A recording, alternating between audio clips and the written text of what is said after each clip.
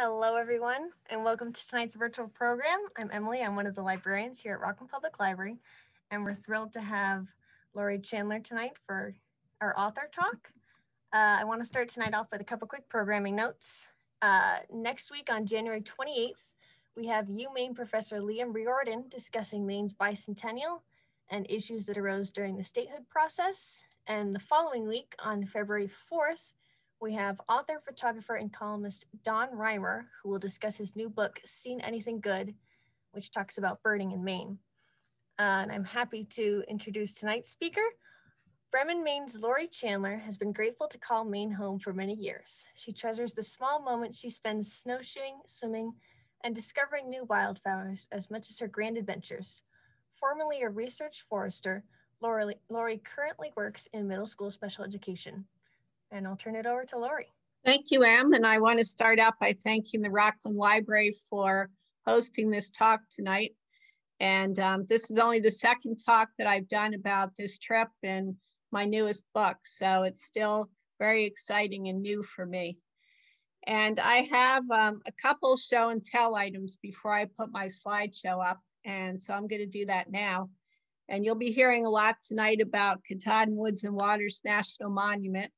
And I want to make sure that I do not forget to tell you that the monument has a friends group. And I see Andy Bossie is with us tonight. And he heads up the Friends of Katahdin Woods and Waters. And so their website is a very good place to go if you want to plan a trip there. And there's a couple of publications I just wanted to show you. There's a map for the Loop Road, which I'll be talking about in a little while.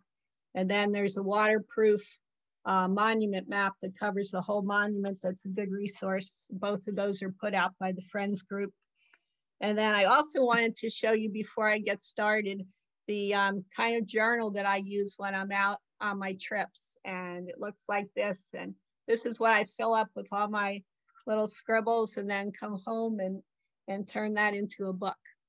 So I know an hour goes by super quickly, so I'm going to go ahead and share my um, slideshow and we'll get started.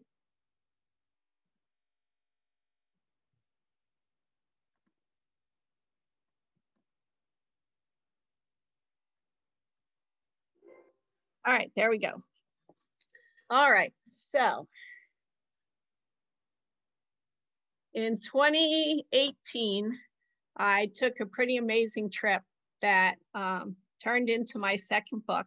And so that's what is going to be the subject of our talk tonight. And the title of the book is Through Woods and Waters, a solo journey to Maine's new national monument.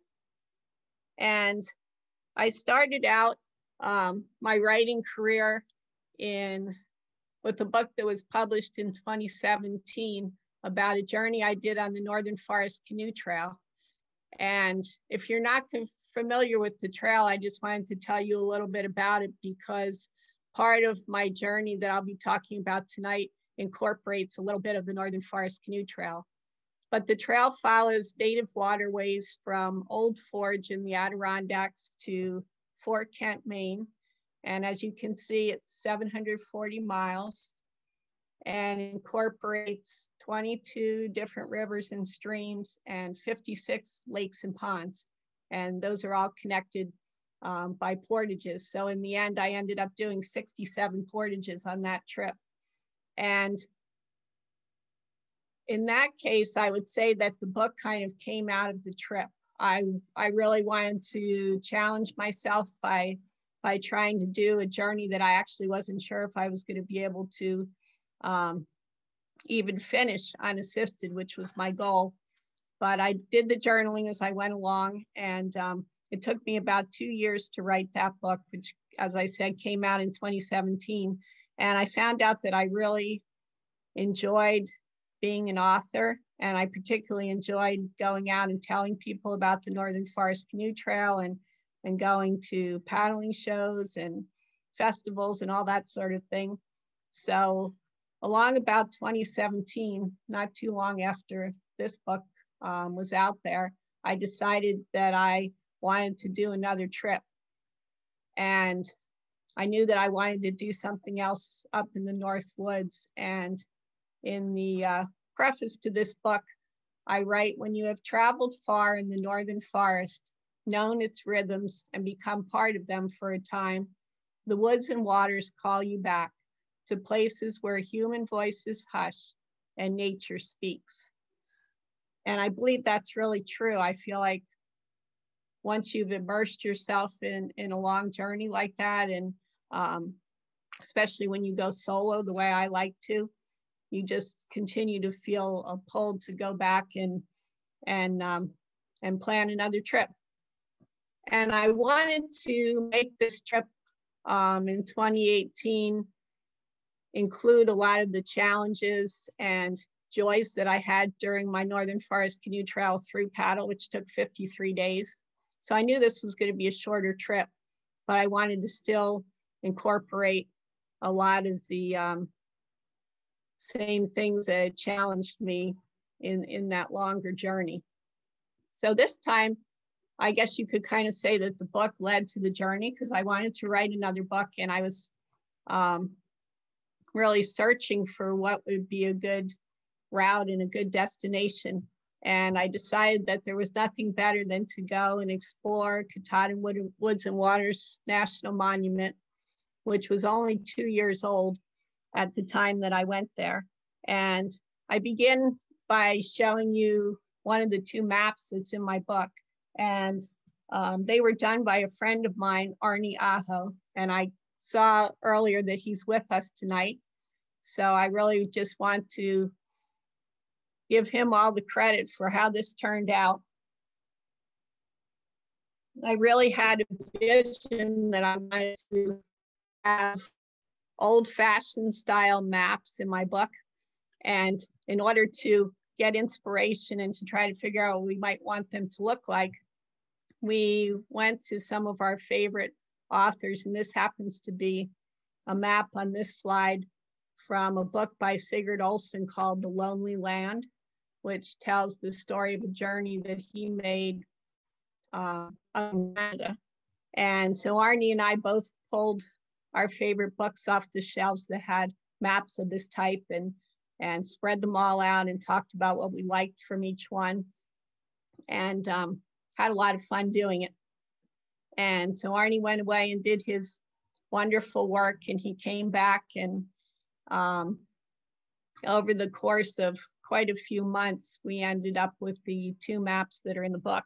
And I discovered that I have a feature, oops, it's not what I wanted to do, a feature in PowerPoint where I can get a little laser pointer. So I'm gonna do that and I'm gonna walk you through um, my journey. And you'll see as we go along that I actually had a, a part of the time when I backpacked and I did the backpacking journey first but I will tell you about that part a little bit later. And then I had to come home to do an author event. And then I went back and did the canoe trip. Um, the canoe trip was 190 miles long. It was 150 miles just to reach the monument boundaries, and then a little over 40 miles down through the monument. So if you're familiar with Maine geography, um, we're on Seboomook Lake. This is Moosehead over here. And I started on the west end of Seboomook, which I had never paddled before. Went through there. Um, and the west branch of the Penobscot I'd been on quite a few times, but not on the first little section right here, which actually turned out to be one of the most challenging parts of my trip. It's called the Roll Dam section of the West Branch. And I continued along. I went into Lobster Lake, if any of you have been in there and camped for the night. And you can see on the map, these little triangles designate my campsites for each night. Continued up the West Branch. And this is all part of the Northern Forest Canoe Trail in here, which was kind of neat. And the Northern Forest Canoe Trail has a uh, designated route that most people take and then it also has some little alternative routes that you can take if you want to. And we're just about to enter the Allagash, Allagash Wilderness Waterway here. And most people um, enter the Allagash by going across the top of Chesuncook Lake and across Mud Pond Carry and into the Allagash that way. But you can also take a loop that goes around like this, takes you into Allagash Lake, and then around into the Allagash that way. So it was it was really appealing to me to explore this little part of the Northern Forest Canoe Trail that I had never done before. And this incorporated a little bit of upstream travel right here. And that was another really difficult section.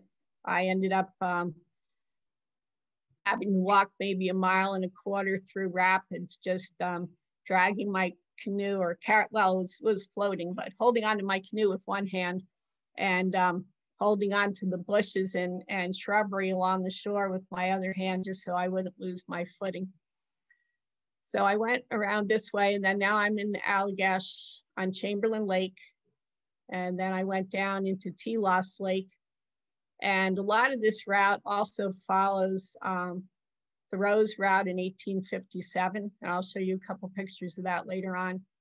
And then I went across the top of Baxter State Park on um, Webster Lake and Webster Brook, and then into a lake called Grand Lake Matagamon. And I had come all this way before I reached the monument boundary. And then I went down the east branch of the Penobscot, which goes right through the heart of the monument, and went about nine miles from the point where the east branch and the west branch would join together to form the main Penobscot. And I took out at Grindstone picnic area. And just to look at the map, Arnie designed the compass rose and he did the illustrations. This mother doe and fawn had a special significance for me. And um, so I really can't thank him enough for doing that.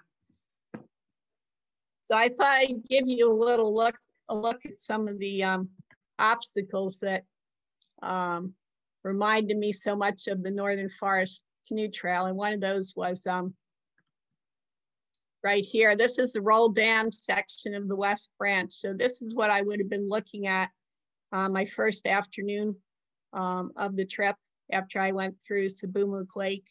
I started into the section, this section of the river where there's about 13 of these ledge drops. And this is the worst one of them, but most of them I had to figure out a way to carry my canoe around them. And I actually got caught out by darkness the first night and ended up camping um, along the Portage Trail right next to this particular rapid. Um, sometimes there was not enough water. I might be going downstream or I might be going upstream. This happens to be on Allagash Stream just after I left Allagash Lake. But that certainly reminded me a lot of the 150 miles or so of upstream travel on the Northern Forest Canoe Trail. I had plenty of experiences on large windy lakes. This is Telos Lake um, in the Allagash Wilderness Waterway. And I had more than one improvised campsite. So I told you about having the camp next to that um, ledge drop on the West Branch. And this is my last night I was actually past the monument and there weren't really any designated campsites. So here I am camped on a, a midstream island in the East Branch, and this was my last night.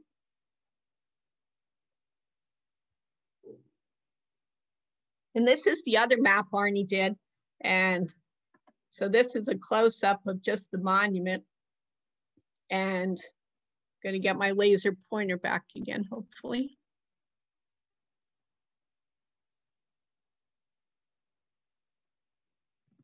All right, there we go.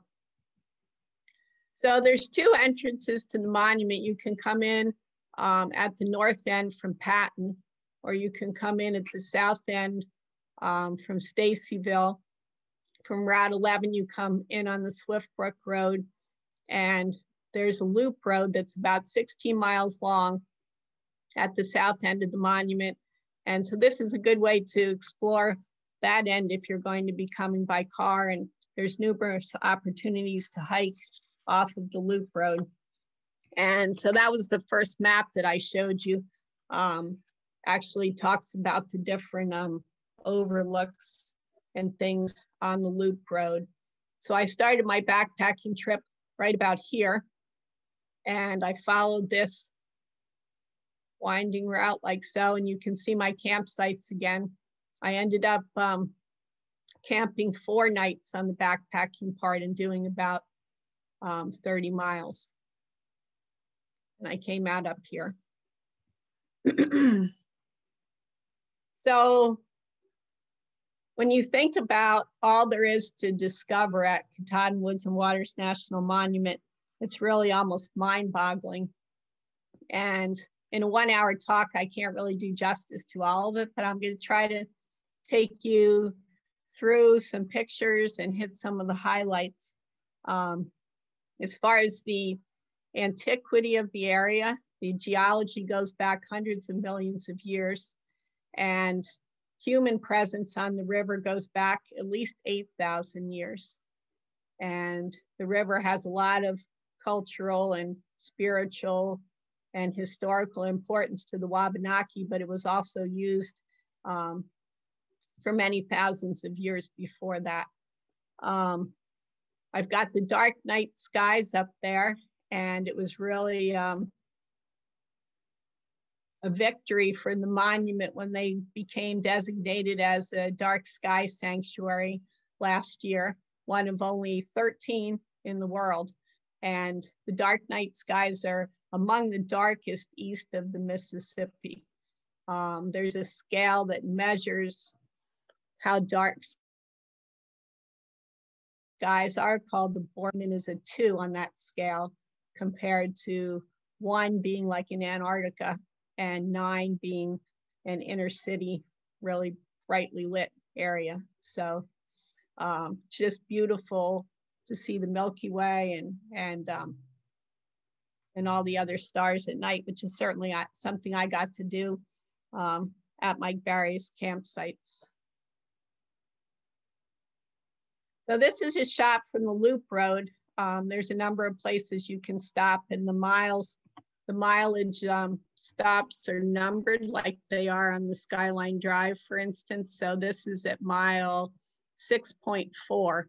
Um, and you really have a beautiful view um, in two different directions. And there's, there's really neat um, wooden panels that show you all the mountains that you're looking at.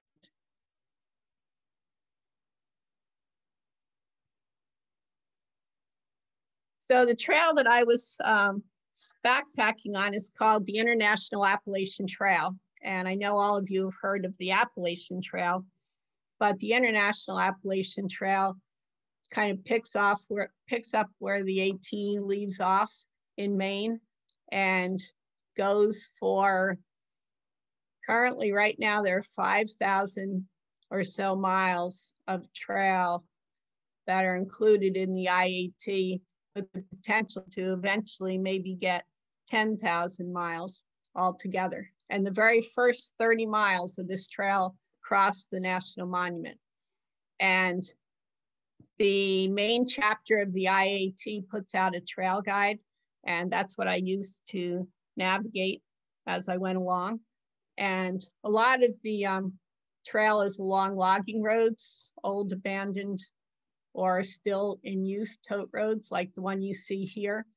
Um, but there's also some regular trail that climbs the mountain peaks and that, that sort of thing. So these are just some scenes from along the trail.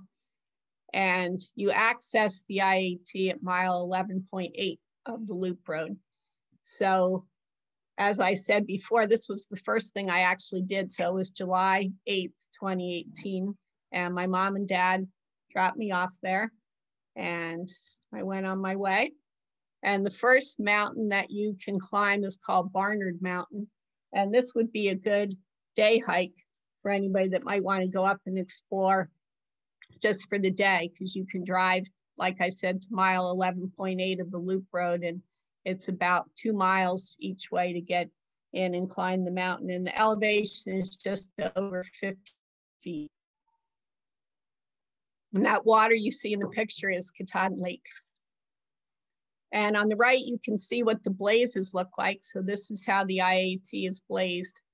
And um, so I followed those. And this gives you an idea of the scope of the International Appalachian Trail. And the reason why it's all part of one trail is because um, about 400, almost 400 million years ago, the Appalachian and Caledonia Mountains formed. And at that point, um, it was all one landmass. And then later on, when it split apart, when Pangea split apart, you ended up with part of the same mountain range on both sides of the Atlantic. So everything that you see in gray here is all the same um, geological um, mountain range, really. And the trail started out, the International Appalachian Trail started out as an effort between Maine, Quebec, and New Brunswick to um, establish trail, the trail through those areas. And then from there, it just grew throughout the rest of the maritime provinces in Canada and then kind of leaped the Atlantic.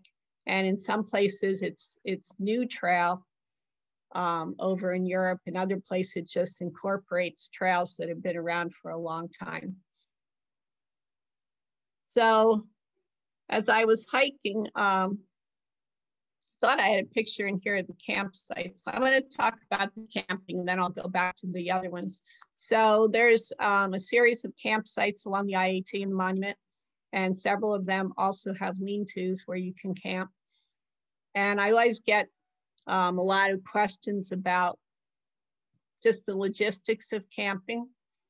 So I use a lot of the same equipment for backpacking as I do for the canoe trips. And you can see a lot of it in that picture in the bottom left. So I have a, a single lightweight backpacking tent, um, a stove that runs on isobutane cartridges. Um, all the water along the way has to be filtered. So I have a water filter for that. And um, for safety, I carry a spot satellite messenger with me. And so I'm capable with that device of sending messages to family and friends that I'm okay. And I can also activate the tracking feature on it. And people that have access to the data can watch my progress. My little dots go along the trail. And then it also has a 911 button, which I haven't, haven't ever had to use, but it's really nice to know that I have it if I need it. Um, if you're interested in going and, and camping in the monument, all the campsites are first come, first serve. Um, you need to have a fire permit from the Maine Forest Service if you want to have a campfire.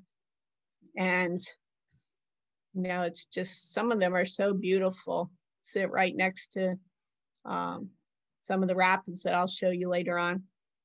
Oh, and people are people ask me about food a lot too. On the backpacking portion of this trip, I actually bought um, dehydrated meals from a company called Good to Go, which makes um, really delicious, all natural meals right here in Kittery, Maine. But when I'm river, I tend to just take a mix of food that I put together myself. Um, I eat a lot of tortillas, trail mix. Um, I make a lot of wraps and eat a lot of tuna and peanut butter and jelly and um, don't really buy the pre-packed dehydrated meals too much when I'm on the river. So, oh, let's go backwards again. Forgot I didn't do that. Okay, so after you um, climb Barnard Mountain if you choose to. Then as you continue to follow the IAT, it goes up and over um, a couple of the other highest peaks in the monument. And as it climbs Deasy Mountain, which is the highest um, mountain whose summit is actually in the monument at, I think, 1,942 feet, you pass this cabin, which was the um, home for the fire wardens that worked um, up on the top of the mountain where there is uh, what they call a ground cab or a fire cab. So it's sort of like a fire tower, only it's not up on a tower. It just sits right on the ground. And um, I'm not sure if we have um, Kathy Tate with us tonight or not, but I'm hoping we do. She said she was going to try to participate. And um, she is an example of how you make friendships in the process of researching a book and, and trying to get permissions and trying to get um, clarification of questions and that kind of thing. And a friend of mine gave me a book that was called um, The Call of Katahdin, and it was written by um, Kathy Tate's parents or by her father. And his name was Ed Werler, and he was a um, he was a fire warden here in the late 1940s. So I found this book and I wanted to write about their experience there. And then I also wanted to use some quotes. And I'm going to actually read you a page from the book just to give you an idea of the kind of stories that I like to include as I go along. Um, but anyway, the book was out of print. And so I had to track down somebody that could give me permission to use the quotes. So I found found out Kathy's name and then I friended her on Facebook and ended up um, getting permission that way. And she was very kind, as almost everybody is, in letting me use quotes and have permission to use their photographs and or read portions of the text. I find that everybody's always very generous with that. So here we go with the page from the book. So I, I, I put this into the story as I do with all of these stories at the point where I've actually um, arrived at the fire warden's cabin. And I just um, went over to the stream that went next to it and I, I filtered some water. And um, right after I tell that, I, uh, right later, I was given a glimpse into several summers spent here in the late 1940s. On July 5th, 1947, Ed Werler, his wife Mary Jane, and their two dogs arrived here for the first time after a long canoe trip and a two mile uphill climb. They did not even know in advance how many rooms the cabin had. MJ carried a radio, her ukulele, and a loaded backpack. Ed carried an army duffel, lineman's tools, and extra insulators to repair the telephone wires strung along the route. Sometimes the lines came down when a moose became entangled in the wire. The couple would have a crank phone connecting the cabin and tower with each other and the Maine Forest Service in Stacyville. In his book, The Call of Katahdin, Ed tells of life as a fire tower lookout. The cabin sat in the middle of a small open clearing by the same stream, of course, and that would be the stream I just pumped the water from. A cave of sorts had been dug into the bank with wooden walls, roof, and door to serve as a cold cellar.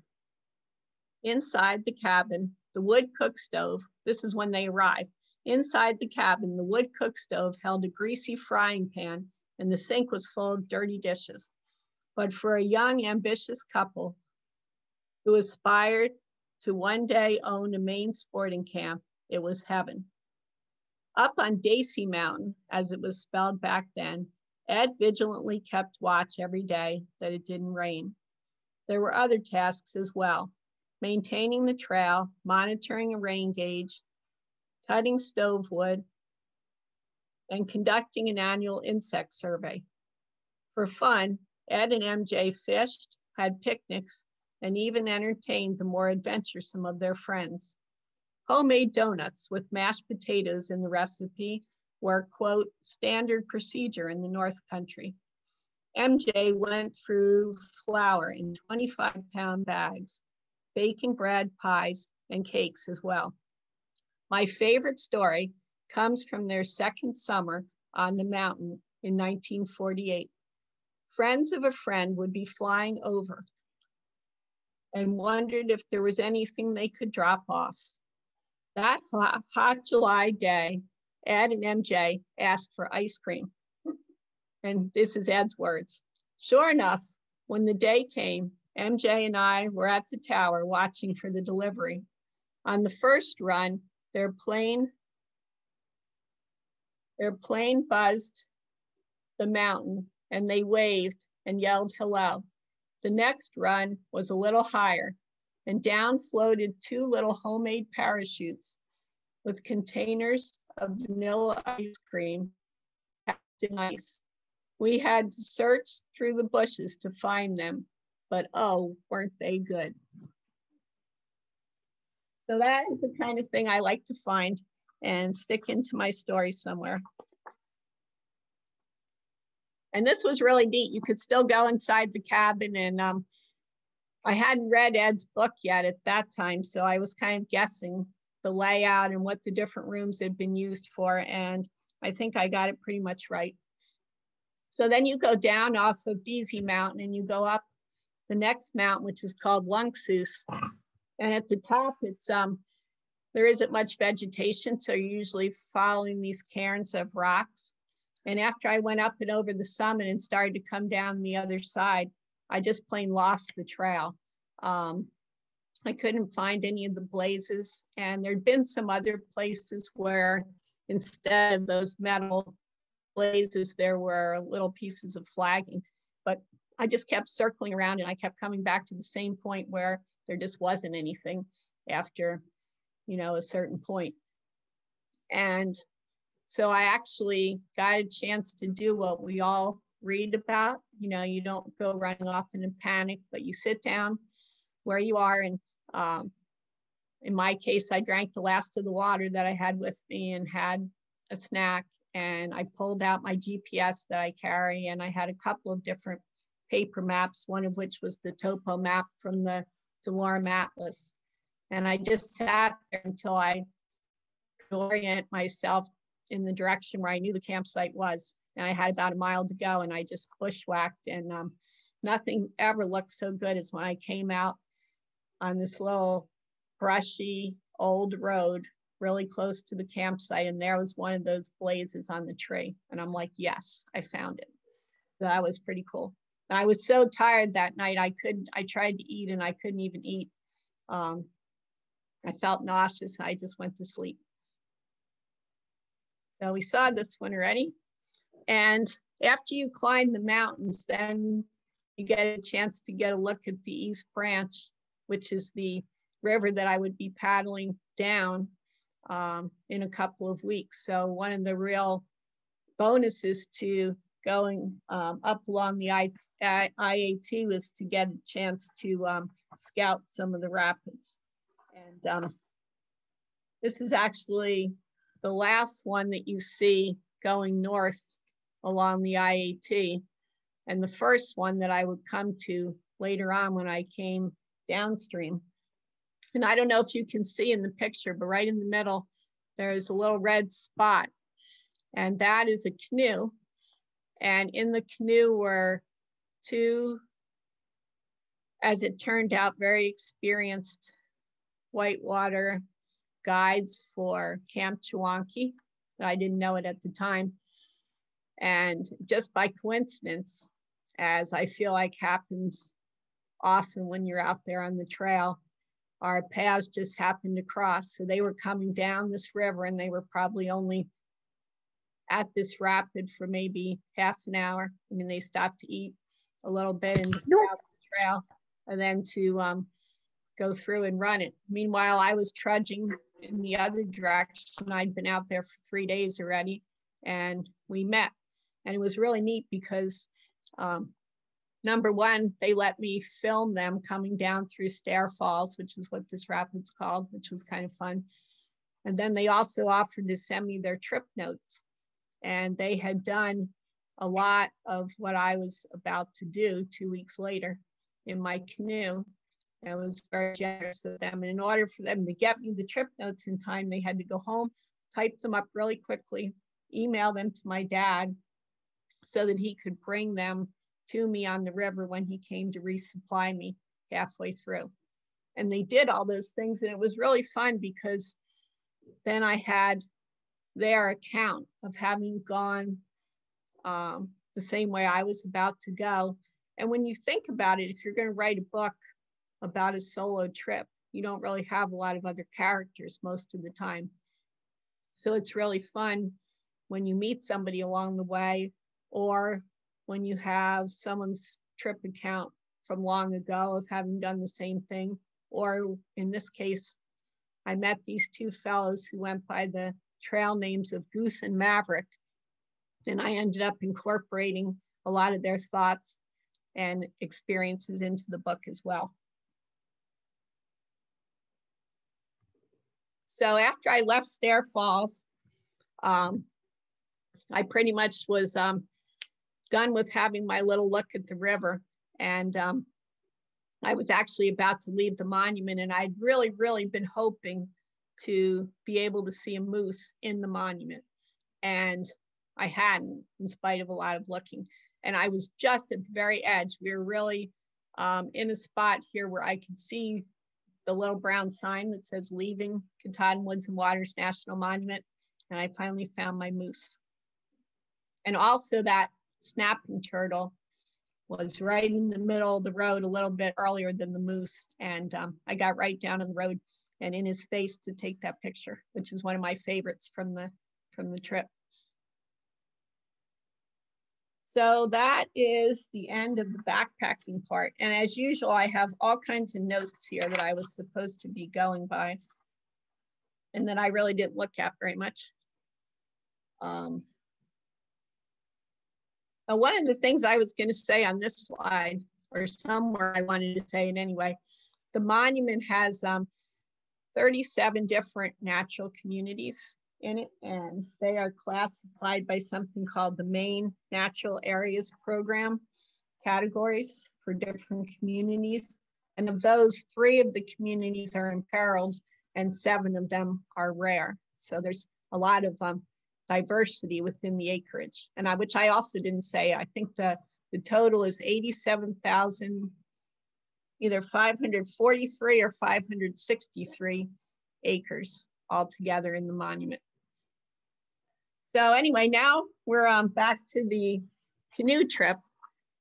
And as you could see from the map when I went through it before, I kind of took the long way around. I'm not really sure anybody else who's ever going to come to Katahdin Woods and Waters National Monument exactly the way I did, unless I get really famous. And then there'll be a map that says the Chandler route, and maybe somebody will come. But anyway, um, I'm really glad that I chose to go the way I did.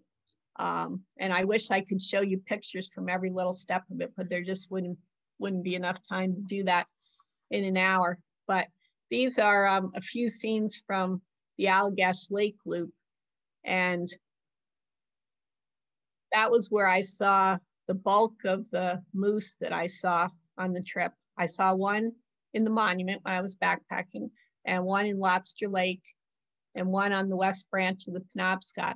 But then when I turned off of Chesuncook Lake and headed up towards Allagash Lake, there's a section um, on a stream called Caucomgomoc Stream. And the picture that I had on the opening slide um, with the evening light and the moose standing out there, that was from the first campsite on Caucomgomoc Stream, which is called Canvas Dam. And um, I love that campsite.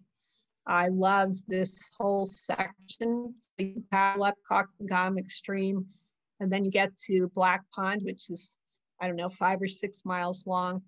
And um, then you go back into Caucomgomoc Stream, and that was the section where I had to have, I mean, walk up through the rapids holding onto the bushes.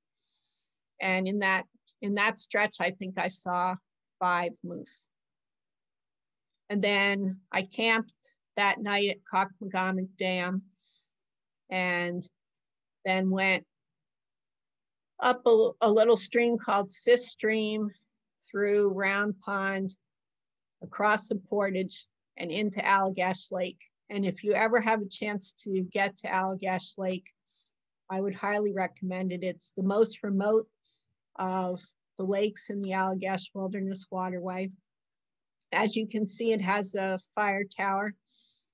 It actually has a tower. And um, I think, it, yeah, it was like um, a mile or so, a not too difficult climb up there.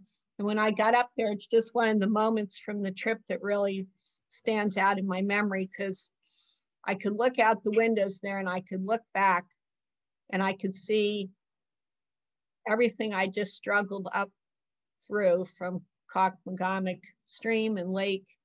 And then I could look forward the way I was about to go. And this picture in the upper right is um, Allagash Lake spread out before me. I could just see exactly how I was going to trace the shoreline um, on the left there. And I, so I, where I camped that night, if you kind of follow the shoreline there, probably just about where it disappears from view back there, there's a campsite called the Ice Cave campsite. And there's some talus caves there that you can actually go down inside of them. And somewhere in their depths in the summertime that you can still find ice. But of course, I was by myself and I really didn't venture very far into the cave. I would have gone a lot farther if I would have had the right kind of boots and I would have had somebody else there with me. But that's the place where I um, chose to write about white nose syndrome, which has impacted our bat populations here in Maine. And that's an example of, of how I try to incorporate some environmental issues as well.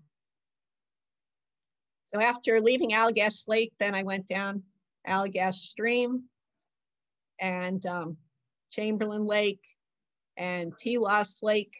And Telos Lake is the, I guess, southernmost, you would say, of the Allagash Lakes. And I had never been on that one either before. And um, here, as I mentioned before, I was following Thoreau's route in 1857. And um, it's just really fascinating to read his descriptions of places and then to go there yourself um, over 150 years later and feel the same things, see the same wildlife. Um, he talks about mergansers, which are one of my favorite water birds. Um, he calls them sheldrakes, but just his description of the way they move on the water and the way they behave is just exactly almost as the way I would have written it, which is pretty neat.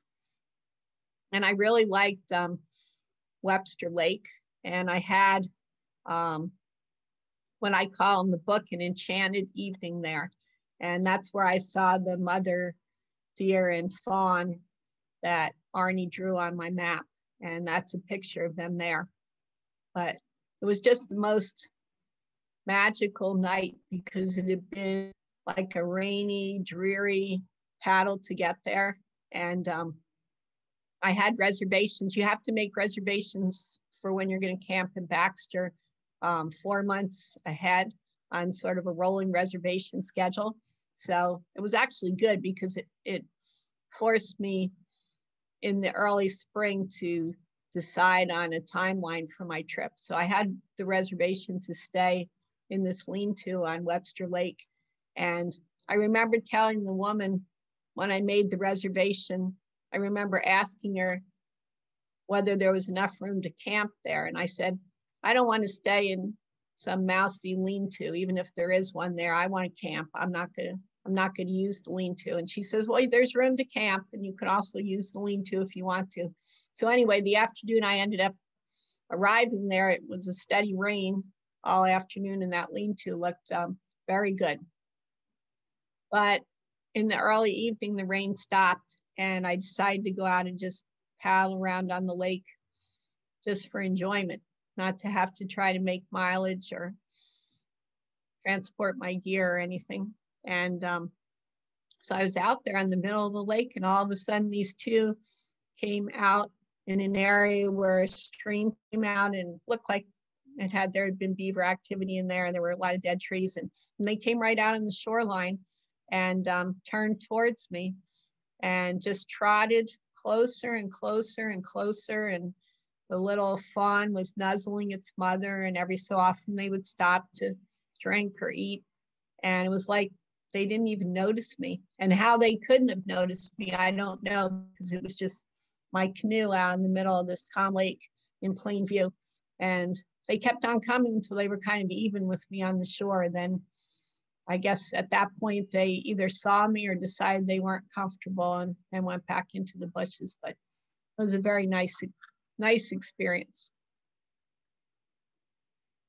So this is the lake um, that comes after Webster Stream called Grand Lake Matagamon. And um, half of it, about half of it is in Baxter and about half of it um, isn't in Baxter, but by the time you get to the dam at the, at the bottom end of it, you are almost in the monument. But I wanted to read this because this is an example of um, the kind of thing where you read Thoreau's words and, and you feel like they could apply to the day that you're there.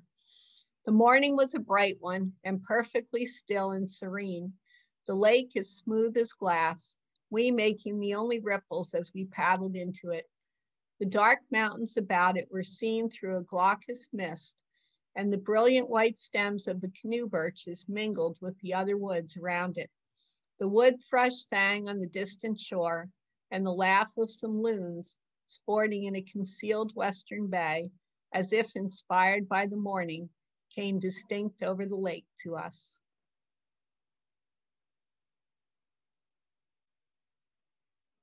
And now we have arrived by boat in the monument. And the way I the way I organize the story, um, as you'll see if you read the book, is that I actually talk about the first half of the canoe trip first. And then I talk about the backpacking trip after I've mentioned Goose and Maverick. Then I tell the story of the backpacking trip so you can see how I met them. And then I go on to tell the second half of the um, of the canoe trip. and um, the East Branch is, is um, it's a beautiful river and it's also a river of very different characters. The first 10 miles um, the descent is much steeper. It descends over 200 feet in the first 10 miles. So you have a series of um, significant rapids or waterfalls or pitches that have to be portaged. And you have some really interesting water in the interludes in between the big ones. And um, then the next 10 miles, the river only drops 80 feet. And for those of you who may not do a lot of paddling, it might not seem like a big difference between 200 and some and 80, but it really um, leads to a river of a different character in the lower part. And there's an example of one of the calm spots. But this is um, this is Grand Pitch. It's a 20 foot waterfall and the highest um, of the drops and one of the four mandatory portages that you have to do. And Grand Pitch has a campsite and, and lean-to right next to it. It's a, a really nice spot to stop. Um, and this is um, the big from the Big Seboois campsite on the lower part of the river and just gives you an idea what um, what it's like to, to paddle the lower part. There's a lot of um, silver maple floodplain forest, which is really beautiful.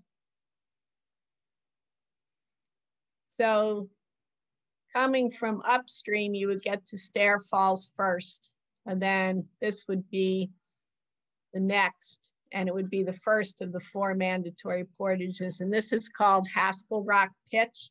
And I just put this in here because I think that's got to be the most unique rock formation in the monument. It just towers over you, and um, you can see how the river is slowly eroding it away. And one of these days, I guess it's just going to topple over but all the rock in that area is so interesting. It's a, a conglomerate and just made up of such a mix of different sizes and shapes and types of stone. It's neat just to walk around looking at that. And the portage trails around the rapids and the monument itself are really good compared to what I found um, in the other parts of my journey, like along the uh, west branch of the Penobscot, for instance. The uh, ones in the monument are very well maintained. And the one around Haskell Rock Pitch is the longest at about half a mile. And there's a lot of history in the monument, as I alluded to before. Um, a lot of logging history, a lot of indigenous history, and also a couple of um, really intriguing spots that were my favorites. And the first one of them, the Little Spring Brook Fish Hatchery, there really isn't very much to see there, but just imagining what was there and researching the story of the fish hatchery so I could put it in the book was really neat. Um, it was built by a man named Charles Atkins, who was a very, very early um, fish culturist, as he called himself, and one of the first two fish commissioners for the state of Maine back in the late 1860s. And Maine was very proactive on getting on board with fisheries conservation and actually had um, a commission four years earlier than the federal government did. And the main fish hatchery for Maine was um, in Orland, and it was called Craig Brook, and it's still in existence today. And um, back in the early 1900s, um, Atlantic salmon fry from that hatchery in Orland were being brought on a long journey by train and buckboard to be released in the East Branch. And Charles Atkins came up with the idea of streamlining the process by bringing eggs instead of small fish to the East Branch and then having a satellite hatchery here where he could raise them until they got to the stage um, when it was ideal to release them into the river. And they wouldn't have this arduous journey and you would have, be better able to control and time the release of the fish into the river when it was perfect for them to survive. And this is the only known photograph of this fish hatchery, which was in operation from 1903 to 1916. But I had a um, lot of help researching um, this part of my story by a, fish, a former fisheries biologist named Paul Johnson. And I actually got to go to Craig Brook and sit there and go through the volumes of all the historical correspondence of Charles Atkins when he was coming up with the idea and trying to convince um, the people he worked for that it was a good idea. And then even like all the details of the kind of food they ordered to feed the people that lived there. I found it very fascinating. But I was also a little sad that there wasn't very much there to see. And so as I continued down the river, I was approaching the site of one of the early farms, and there were two settlers that came to settle on the East Branch in the 1830s. And they each built farms that became sort of the last outpost before people would go into the woods to do logging, or they would go towards Katahdin to explore, or they would do surveying or scientific exploration. And so one of the farms is called Hunt Farm. And I was really, really hoping that I could land near the site of the farm. I knew where it was, where it was located, and it was a very um, easy to spot um, location because there's these really high sandy banks. So I got close to, to where I thought it was and I came around the bend and I saw the sandy banks and there was a cabin or camp right there. And I didn't want to stop right in somebody's yard. So I went a little bit further down and there was a gravel beach on the correct side of the river. And I pulled over and, and uh, beached the canoe and I started walking around and um, just looking to see if I could, could see any indication of where the farm had been or, or anything. And um, this little glimmer of white in the river caught my eye and I waded out there and it ended up being a piece of pottery. So I spent probably an hour just walking up and down the beach and all into the into the water and along the beach and I found all this different kinds of um, pottery And I didn't touch any of it. I didn't move any of it. And I hope if anybody else goes there and does this little treasure hunt like I did, that they'll leave everything exactly where it was. But I have a fellow author, Jeff Ryan, um, who wrote a blurb for my book. And he said, while a map can set our course, letting the journey itself be our muse is the greatest guidance of all. And I, I think he was referring to the fact that that I like to go out on a trip, not necessarily knowing what I'm going to find or what I'm going to end up writing about, and just let let it unfold and try to write in a way that people that read the book will feel like they're on the journey with me and discovering things as I do. So that was really neat. And I have a, a friend, an archaeologist around here that looked at the different photographs and, and dated them for me. And um, that one in the top left, he thinks is old enough that it could have come to the Hunt farm with the original family. Dad's given me my five minute warning. I'm almost done now. And actually, speaking of dad, here's mom and dad. So that picture of them is um, taken at Chamberlain Bridge, where they came to meet me for my resupply, which is something they were very well trained to do because I have to show you them. Here they, oh, you, well, you probably can't see me. There they are. I think there's a little picture. Isn't there a little picture of me? No. no. Oh, well, anyway, they're here. And on um, my through paddle of the NFCT, they met me four different times. And dad actually went with me um, for a week on the um, Adirondack portion of it for the first week of the trip. But they're always my support system. And, and, and the last day he did as well. So I finished at Grindstone Falls. And so if I'd gone nine miles further, I would have gone to Medway, which is the point where the west and east branches combine to make the main branch of the Penobscot. So here's the book. Sometimes I forget to mention my website, which I think I did forget the first time. But anyway, that is it, laurieachandler.com. And not only can you purchase the books there, but there's also a blog from the Through Paddle you can get a really good idea of what was involved with that on my blog. And I'm really pleased that my book is published and printed in Maine. I work in cooperation with Maine Authors Publishing in Thomaston. And one of the neatest things about it is just being part of a community of authors that you can attend events together and you can bounce ideas off of. And I've really enjoyed what I call the author life a lot. And if you're interested in learning more about Katahdin Woods and Waters or helping out in some way, there are um, opportunities to volunteer there through the Friends. This is a uh, day of trail work on the Esker Trail off the Loop Road, which is actually the only day so far that I've gone to work, but I'm looking forward to being able to do a lot more at some point in the future.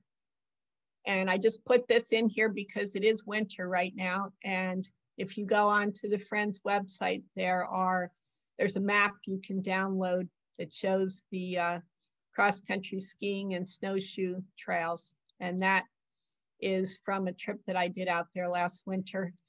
So that part of the trail goes right along the East Branch on the um, upper end, on the north end. And that's it.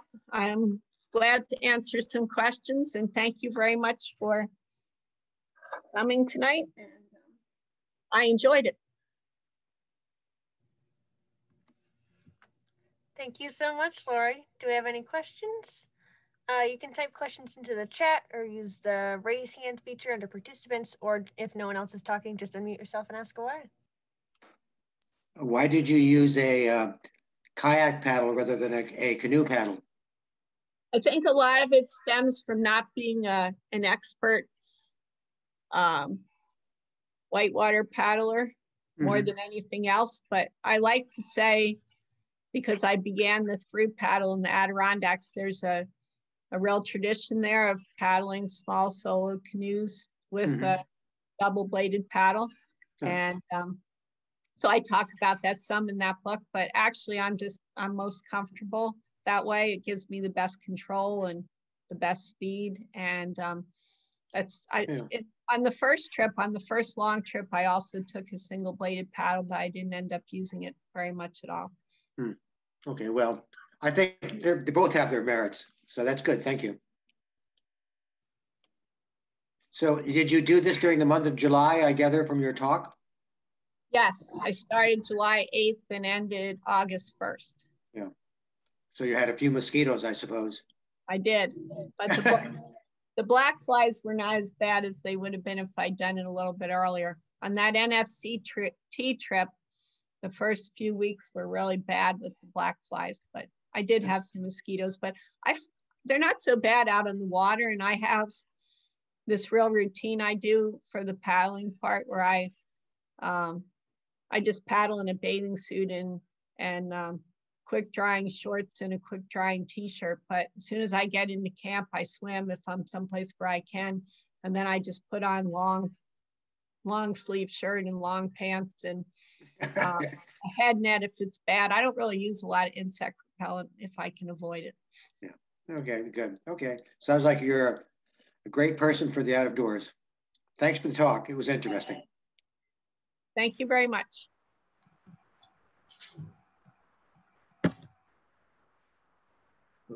On, on the portages, did you um, drag or carry the canoe or have wheels or? Okay, that's a great question. Um, I own wheels and on the Northern Forest Canoe Trail trip, um, there was 150 miles of portaging and 90% of it was wheelable. So I had the wheels with me everywhere except the last um, 150 miles or so through the Allagash. On this trip, not much of it would have been wheelable, so I did not take my wheels. And the canoe that I use weighs 32 pounds. It's a Wenonah Fusion. And um, when I have it set up for portaging, I have a portage yoke, um, lightweight wood with a foam pad that I bought. And my dad made the portage yoke. And so that is clipped into the boat and I tie in my paddles. So it's 38 pounds when I'm doing uh, carry type of portage. And I can handle that pretty well. I can carry the boat about a half a mile. And if the portage is any longer than that, I just do it in stages. So the boat goes in one trip and the gear goes in a second trip. The very first long trip I did um, back in 2011, I was doing three trips for every carry. And um, that's not, not efficient and not good. What, what is the length of the uh, boat? The boat is 13 feet long. And it's 30, 30 or 31 inches wide. So as far as tripping canoes go, it's kind of fat and not really um, streamlined, but it's also stable. And compared to the kayak that I had before the canoe, it's a lot faster than that. I'm happy with it. Thanks. You're welcome. Someone in the chat asks, what's your favorite experience in the National Monument? Hmm. I think actually probably it was the challenge of deciding which rapids to paddle and which rapids to portage. And I was really surprised, I guess, by the amount of whitewater there was in between the rapids that I knew about. And I really, I really enjoyed the points where I was able to do more um, of difficult rapids than I thought I was going to. And then I had a favorite campsite, which is, is next to one of the four that I didn't talk about, which is called Pond Pitch. And there's a campsite that's right next to, right next to Pond Pitch. And there's a long finger rock that kind of goes out into the water. And um, there was nobody else around. I really didn't see too many people on the river in the monument at all. And it was just that night and that particular campsite was just very meaningful to me.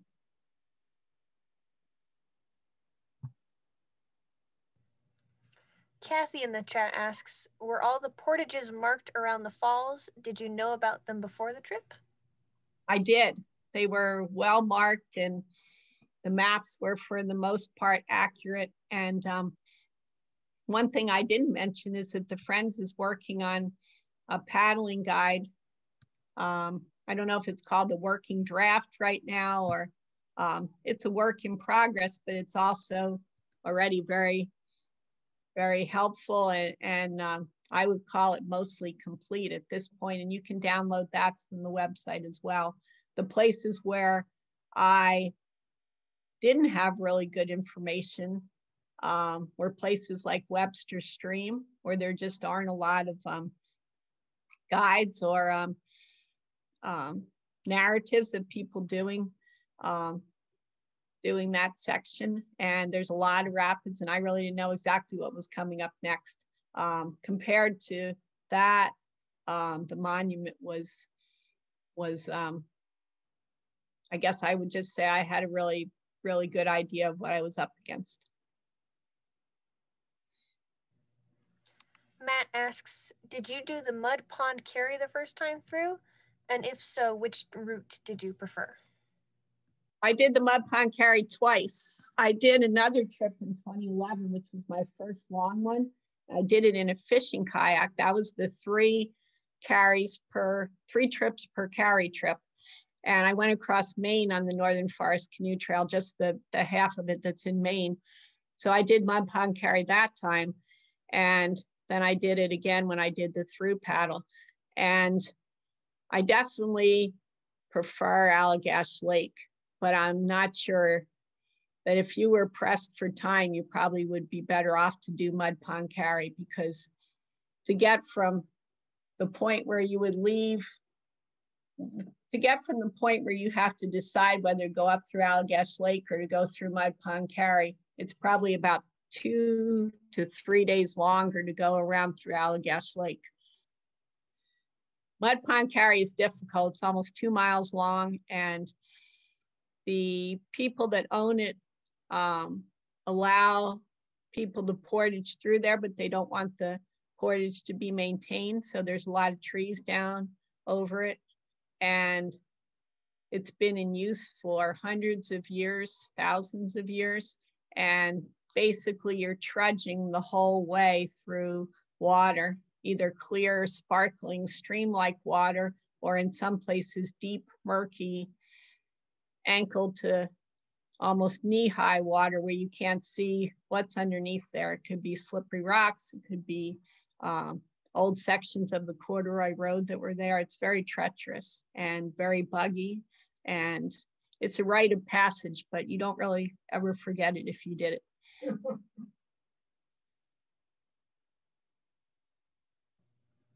Someone asks, when you used the canoe paddle, what kind of water conditions were you in? Um, calm streams. I really didn't use the canoe paddle too much, but I mean, I've done I've done canoe trips in a tandem canoe where I've used a regular canoe paddle. My dad and I have done part of the Allagash, and I've done done other various trips in Maine. I've got a lot more miles under my belt with the double bladed paddle.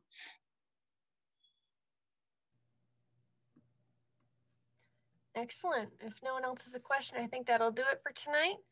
Uh, thank you so much to everyone for coming, and thank you so much to Laurie for a really, really wonderful talk.